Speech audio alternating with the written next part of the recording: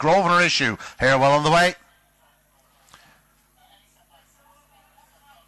Racing, good start by Trap One up the inner. That's. I beg pardon. Cuil Legend now six. Grosvenor Issue showing fine early speed. Leads around the opening turn from in second spot. Trap One, Cuil Legend. Then comes five. That's uh, Mystic Jet. But out front and still five. Grosvenor Issue after a layoff. Can she hold on? One and will get there and scores. Cuil Legend, the winner of our tenth race.